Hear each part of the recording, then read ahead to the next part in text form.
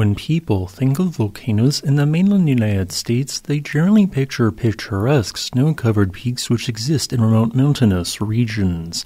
While this does describe the majority of our nation's largest volcanoes, it does not describe a volcano which strangely exists not adjacent to but within a major U.S. city as within the city of Bend, the sixth largest city within Oregon, which is home to 107,000 residents, is the striking edifice of the extinct volcano known as Pilot Butte, which rises to an elevation of 151 meters or 495 feet above the surrounding cityscape.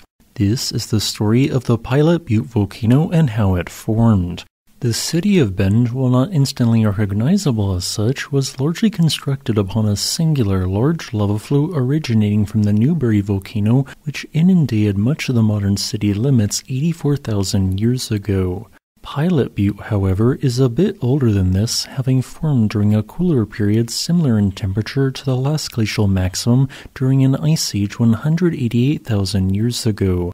At the time, thick glaciers existed 20 miles to the west and average temperatures were 14.6 degrees Fahrenheit cooler than they are today. That meant that Pilot Butte formed during an era where permafrost could have theoretically existed in Bend at the time, with average yearly temperatures of 31.9 degrees Fahrenheit, meaning an average below the freezing point of water.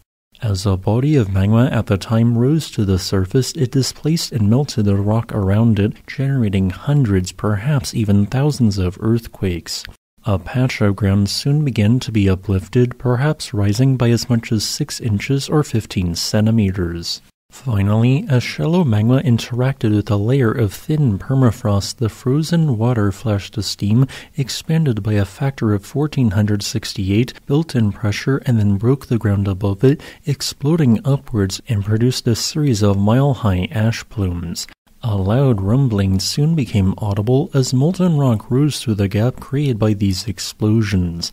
Due to the drop in pressure this magma experienced, it rapidly expanded most notably via the gas bubbles within it, which not only propelled a sustained stream of lava several hundred feet into the air via a lava fountain, but also fragmented some portions of the lava to such an extent that particles of ash smaller than eight hundredths of an inch in diameter were created. As fragments of ash fell back to the ground and combined with gas-rich scoria, they began to build a central volcanic cone.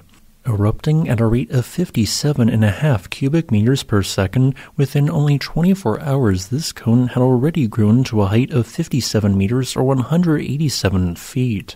As intermittent ejections of ash occurred alongside the ejection of bombs of lava, a body of magma moved horizontally through the growing cinder cone and broke it towards the north northwest, causing a lava flow to begin moving in that direction. With a composition of basaltic andesite, this lava slowly flowed to the north, creating an expanding lava field that would eventually develop to average 26.2 feet thick.